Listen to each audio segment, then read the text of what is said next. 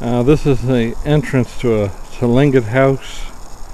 And from what I understand, I am supposed to go in backwards or else be mistaken for a predator.